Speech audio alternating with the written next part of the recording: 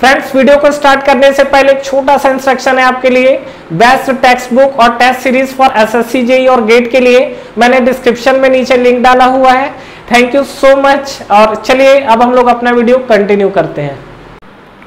तो आइए फ्रेंड्स इस वीडियो में जो हम लोग बात करने वाले हैं, वो हमारा जो यूज़ होगा थर्मोसाइफन कूलिंग सिस्टम और ये अगर नाम से ही आपको दिख रहा है कूलिंग सिस्टम है। और ये बेसिकली आपका यूज़ किया जाता है इंजन को कूल करने के लिए। जहाँ पर आपका हीट प्रोड्यूसिंग ज़्यादा होता है या इंजन आपका ज़्यादा हीट होता है, देखिए बेसिकली अगर एक बात किया जाए तो जहाँ पर ये हमारा जो कूलिंग सिस्टम थर्मोसाइफन यूज़ होता है, ये हमारा मल्टी सिलेंडर इंजन में या फोर व्हीलर जो गाड़ियाँ होती है, वहाँ पर यूज़ होता है इसका। एक्चुअली होता क्या चीज़ है कि जब सिलेंडर जो आपका इंजन के अंदर जो सिलेंडर और जो पिस्टन का मोशन होता है, उसके कारण कंटिन्यू हीट जनरेट होना स्टार्ट हो जाता है। और धीरे धीरे हीट जनरेशन होने के बाद ये इतना ज़्यादा हीट जनरेशन ना हो कि आपका इंजन एक्सेस हीटिंग में चला जाए। उसके चलते आपके क्या पार्ट्स डैमेज भी हो सकते हैं। तो ऑन एन एवरेज ऐसा देखा गया है कि नॉर्मल कंडीशंस में जितने आपके इंजन से हीट जनरेट होते हैं, उसका करीब करीब 30 परसेंट जो पार्ट है, वो आपका जो हीट है, वो एब्जॉर्ब करने के लिए कैपेबल होना चाहिए, जो भी आपका कूलिंग सिस्टम है। लेकिन ये आपके काफ़ी सारे फैक्टर्स पे बात होता है, जैसे मैंने ऑन एन एवरेज कहा है। इसके अलावा मान लीजिए कि आपकी गाड़ी अगर लॉन्ग ड्राइव में चल रही है लॉन्ग रनिंग में है तो वहाँ पर आपका इंजन क्या है एक्सेस हीटिंग होना स्टार्ट हो जाता है। तो वहाँ पर कहीं ना कहीं हमें क्या है कूलिंग जो सिस्टम है, उसको और ज़्यादा इफ़ेक्टिव बनाना पड़ेगा। तो उसके लिए भी हमारा कुछ ना कुछ अरेंजमेंट होना चाहिए। तो आइए हम लोग इसी चीज़ पे आज बात करने वाले हैं। तो देखिए यहाँ पर ये जो हमारा थर्मोसाइफन जो कूलिंग सिस्टम है, उसका एक स्ट्रक्चर है। अगर आप इसको वर्ड को ब्रेक करेंगे तो आपको यहीं पर चीज़ें दिख जाएगी। थर्मो मतलब कहीं ना कहीं हीट से लिंक कर रहा है। साइफन मतलब कहीं ना कहीं ट्यूब की बात कर रहे हैं और जो हमारा कूलिंग सिस्टम है, ये कूलिंग सिस्टम में देखिए बेसिकली होता क्या है? आपकी गाड़ी का जो इंजन है इंजन के अंदर मान लीजिए कि अगर चार सिलेंडर इंजन है तो ये जो हमारा है, ये हेड से अगर आप देखोगे तो आपको इस तरीके से चार सिलेंडर दिखेंगे ऐसा। ठीक है?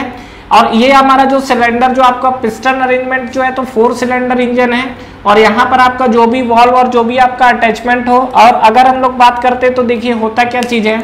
ये हमारे पास सिलेंडर का अरेंजमेंट है। इसके बाद यहाँ पर फ़ैन लगा हुआ है, और इंजन के आगे ही अगर आप देखते हैं तो एक रेडिएटर का अरेंजमेंट होता है। तो ये रेडिएटर से जिसके हम लोग पाइप का ऊपर का क्रॉस सेक्शन हमने बनाया हुआ है। और यहाँ अगर आप सराउंडिंग से बात करेंगे तो सराउंडिंग से आपकी क्या आती है? एयर जो आती है, जो डायरेक्टली क्या होता है? ये रेडिएटर पार्ट से टकराता है और इसके बाद अगर हम लोग बात करेंगे तो ये हमारा वाटर फिलिंग पोर्ट है जहाँ से हम लोग वाटर फिल किया जाता है और ये हमारा लोअर टैंक है। इसके अलावा देखेंगे तो यहाँ पर फूटर लगा रहता है और हेडर लगा होता है। हेडर एंड फूटर लगा होता है, जो कि आपका क्या वाटर को जो पास किया जाता है तो उसके अकॉर्डिंग क्या है, वो वाटर सप्लाई को भी क्या कर रहा है? एडजस्ट कर रहा है। किस तरीके से? देखिए सबसे पहला चीज़ यहाँ पर फ्रेंड्स कि अभी इनिशियल कंडीशन में आपका फ़ैन क्या ऑफ़ रखा गया है? ठीक है नॉर्मल कंडीशंस में क्या होता है कि ये जो आपका है, यहाँ से आपका क्या इंजन कंटिन्यू हीट हो रहा है तो ये आपका क्या है? वॉल है इंजन का वॉल है।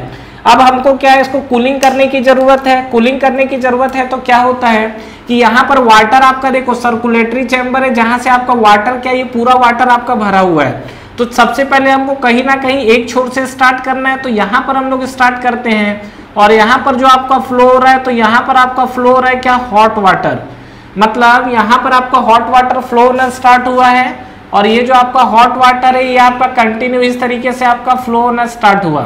अब हॉट वाटर यहाँ से पास होते होते क्या होगा कि ये आपका इंजन का हीट तो ले चुका है, लेकिन अब क्या इस हॉट वाटर को हम लोग को क्या कूल करना है? तो कूल करने के लिए हम लोग क्या करते हैं? इसके रेडिए रेडिएटर का जो आपका क्वाइल होता है, उस रेडिएटर के क्वाइल से हम लोग क्या करते हैं, इसको इस तरीके से पास किया जाता है। और यहाँ पर जब पास किया जाता है तो ये जो आपका रेडिएटर है, यहाँ पर जब आपकी गाड़ी रनिंग कंडीशन में रहती है तो क्या सराउंडिंग एयर जब इस पर स्ट्राइक करता है तो स्ट्राइक करने के बाद क्या होता है कि ये आपका जो एयर है, वो एयर क्या होती है कूल होती है। और यहाँ पर जब आपको बाहर वाली जो वाटर है, जब ये इस डायरेक्शन में आना स्टार्ट होगा तो यहाँ पर आपको क्या मिलेगा, ये आपको मिलेगा कोल्ड वाटर ये जो आपको मिलेगा, क्या मिलेगा आपको? कोल्ड वाटर अब देखिए यहाँ पर एक चीज़। अगर हम लोग बात करते हैं हीट एक्सचेंजर्स टाइप का तो हमने तीन तरीके का हीट एक्सचेंजर शायद पढ़ रखा होगा। पैरेलल फ्लो हीट एक्सचेंजर जो कि दोनों फ्लो एक डायरेक्शन में होता है। काउंटर फ्लो हीट एक्सचेंजर जो कि दोनों फ्लो का डायरेक्शन अपोजिट होता है। और एक हमारा क्रॉस फ्लो होता है, जहाँ पर आपका जो हीट फ्लो का डायरेक्शन है वो आपका परपेंडिकुलर मिलेगा। तो यहाँ पर जो आपका वाटर का फ्लो है इस कंडीशन में और जो एयर का फ्लो है, यहाँ पर मतलब ये आपका हॉट फ्लूड है और ये आपका कोल्ड फ्लूड है। तो कहीं ना कहीं ये जो आपका रेडिएटर एग्ज़ाम में कई बार पूछा हुआ भी क्वेश्चन है कि यहाँ पर जो हम लोग अरेंजमेंट यूज़ कर रहे हैं हमारा कौन सा होता है? That is the cross flow heat exchanger ठीक है? इसके बाद ये वाला जो हमारे पास पोर्शन आया हुआ है, यहाँ से आपका फ्लो होना स्टार्ट हुआ है। फ्लो स्टार्ट होने के बाद क्या होगा ये लोअर टैंक से पास हुआ है। लोअर टैंक से पास होने के बाद फाइनली क्या है? कि यहाँ पर जो हॉट वाटर आई है और यहाँ पर जब वाटर कूल हुआ है तो कोल्ड वाटर यहाँ पर सप्लाई हुआ। और कोल्ड वाटर सप्लाई होने के बाद अगेन क्या होगा? फिर से जाएगा। सिलेंडर के चैम्बर पे क्या करेगा? हीट एब्जॉर्ब करेगा। और ये आपका continuously hot and cooling process आपका कंटिन्यूसली चलता जा रहा है। ठीक है? दूसरा चीज़ अगर हम लोग बात करते हैं फ़ैन को लेके तो देखिए क्या होता है। जैसा कि मैंने आपको बताया कि ऑन एन एवरेज ऐसा अरेंजमेंट होना चाहिए कि 30 परसेंट हीट को हम लोग नॉर्मली एब्जॉर्ब कर सकें। उसके अलावा अगर आपकी गाड़ी लॉन्ग ड्राइव पे तो वहाँ पर इंजन की क्या एक्सेस हीटिंग होगी तो उसके अकॉर्डिंग हमको अपना कूलिंग का अरेंजमेंट भी बढ़ाना होगा। तो उस कंडीशन में हम लोग क्या करते हैं, ये फ़ैन को ऑन कर देते हैं। फ़ैन अगर आपका ऑन होगा, कर देते इन द सेंस सब ऑटोमेटिक सिस्टम है एक रेंज के बाहर जाएगा तो फ़ैन ऑन होना स्टार्ट होगा। और जैसे ये फ़ैन चलेगा तो क्या होगा, आपका कहीं ना कहीं फोर्स कूलिंग होना स्टार्ट हो जाएगा। और ये फोर्स कूलिंग होगा तो अगेन आपका क्या है कूलिंग सिस्टम और ज़्यादा इफ़ेक्टिव हो जाएगा। वो डिपेंड करता है कंडीशन के ऊपर कि हमें इंजन के अंदर कितना कूलिंग देना है। और हमारा जो इंजन है वो कितना कूल कर सकता है? इसके अलावा हमारे पास ये सब जो चीज़ें हमारे पास दिख रही है, जो वाटर का सर्कुलेशन है वाटर का सर्कुलेशन कितना मैनेज कर पा रहे हैं? इसके अलावा हम लोग वाटर के अंदर कुछ कूलेंट भी यूज़ करते हैं, वो भी आपका एक तरह का इफ़ेक्टिव होता है। तो ये हमारा थर्मोसाइफन कूलिंग सिस्टम है। तो यहाँ पर आपको चीज़ क्लियर हुआ होगा, हमारा ये जो सिलेंडर का ब्लॉक हो गया और जो हमारा सिलेंडर है, और तो ये आपका जो पोर्शन है ओवरऑल आपका क्या है? इंजन के अंदर जो कूलिंग करने का प्रोसेस है, वो आपको कहीं ना कहीं क्या है थर्मोसाइफन कूलिंग सिस्टम यूज़ किया जा रहा है। तो ठीक है फ्रेंड्स, आई होप आपको ये वीडियो क्लियर हुआ होगा। और यहाँ से ये जो कूलिंग सिस्टम की हमने बात की है मल्टी सिलेंडर इंजन के लिए ये आपको क्लियर हुई होगी। ठीक है? Thank you very much for watching this video friends इस वीडियो को लाइक करिए, ज़्यादा से ज़्यादा फ्रेंड्स के साथ शेयर करिए।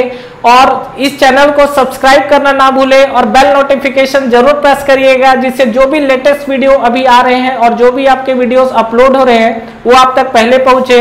और फ्रेंड्स हमारा टेलीग्राम चैनल भी है, जिसको आप ज्वाइन कर सकते हैं, जिसका लिंक नीचे आपको डिस्क्रिप्शन में और फ़र्स्ट कमेंट बॉक्स में मिल जाएगा। तो ठीक है फ्रेंड्स तैयारी करते रहिए। Wish you all the best